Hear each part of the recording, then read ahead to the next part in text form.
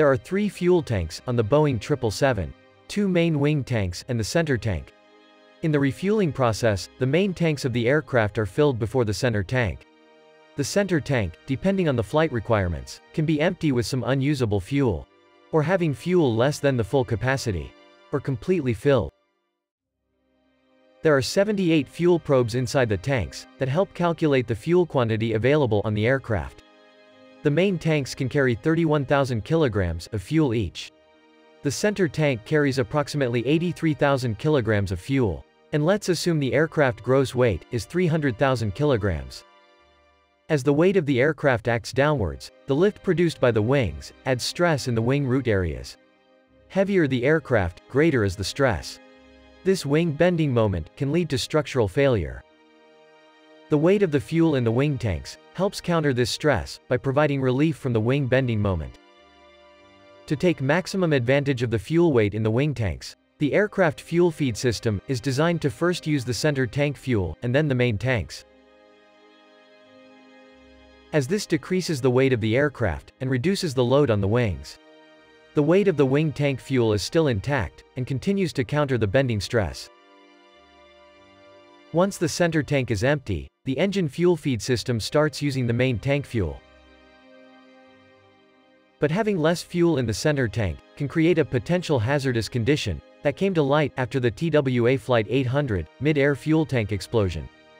Let's understand what caused the center tank of the jumbo jet to explode. Three conditions were necessary for the explosion to take place. First, oxygen in the tank to support combustion.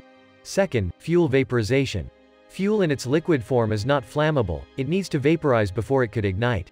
And for the fuel to vaporize, it needs to reach its flash point of 38 degrees Celsius.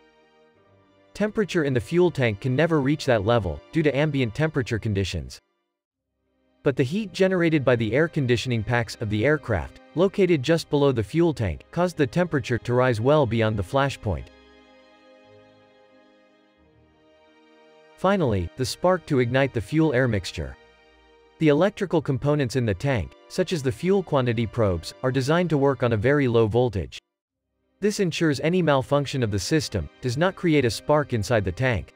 But the wiring of the system outside the tank, ran alongside other high-voltage system wires.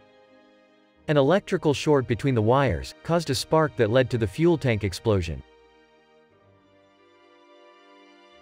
The investigation revealed all commercial aircraft, with a similar design configuration as the 747, are vulnerable to center tank explosion. This led to improvement in wire separation and maintenance standards.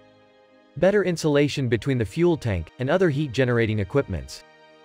But most importantly a new system to be installed on the aircraft. The nitrogen generation system. Any given volume of air is approximately 78% nitrogen, 21% oxygen, and 1% other gases.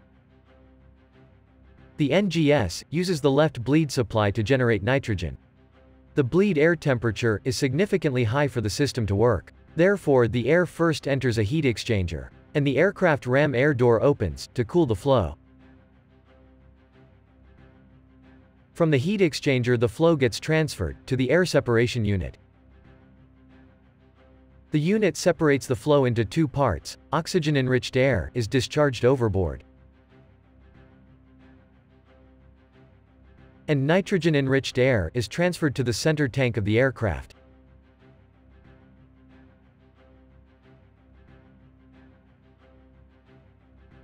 The NEA replaces the air within the tank, which vacates through the vent. As more and more nitrogen is pumped into the center tank, the oxygen level inside the tank depletes. The system ensures, the level of oxygen in the tank, is below 12%.